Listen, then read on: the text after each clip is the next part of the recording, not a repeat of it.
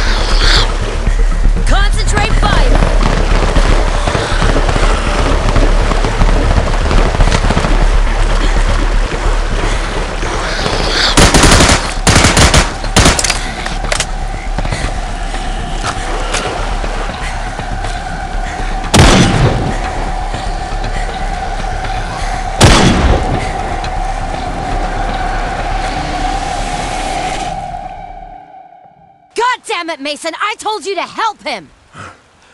I did. He was bit, right, fellas?